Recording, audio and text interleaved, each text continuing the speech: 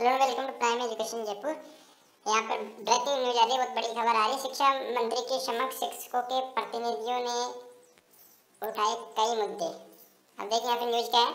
शिक्षा राज्य मंत्री, देखिए यहाँ पर रेट और सॉरी यहाँ पर इक्कीस हज़ार छः सौ जो बजट में घोषणा की गई थी टीचर्स की जो है रिक्रूटमेंट के लिए, भर्ती के लिए, उसके लिए ये न्यूज़ है।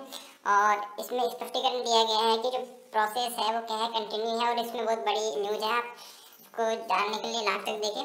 शिक्षा राज्य मंत्री गोविंद सिंह डोटासरा ने रविवार को शिक्षा संघों से शिक्षा संघों ने वार्ता की। करीब आठ घंटे तक चली वार्ता में शिक्षकों और शिक्षा से जुड़े हुए विभिन्न मुद्दे उठाए गए।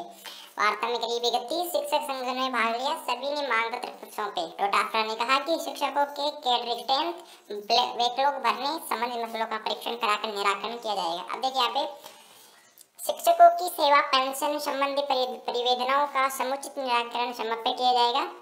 इस समय, संबंध में किसी लापरवाही या कोताही नहीं होनी चाहिए। उन्होंने शिक्षक संघों का आह्वान भी किया कि वे प्रदेश में शिक्षा का बेहतरीन वातावरण बनाने में सहयोग करें। उन्होंने कहा कि शिक्षक, शिक्षकों के इक्कीस हज़ार छह सौ पदों को भरने की प्रक्रिया चल रही है। तृतीय श्रेणी पुस्तकालय अध्यक्ष के सात सौ पदों पर पदों पर भी भर्ती प्रक्रिया, प्रक्रियाधीन है।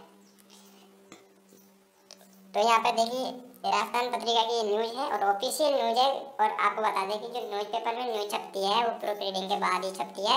ऐसी कोई भी न्यूज़ वहाँ पे नहीं प्रिंट की जाती प्रेस की जाती। तो यहाँ पर जो प्रोसेस है, जो बजट में जो वैकेंसी डिक्लेयर की गई थी, उनकी प्रोसेस चल रही है, ठीक है? ये खुद शिक्षा मंत्री ने दिया है, ये वाला बयान।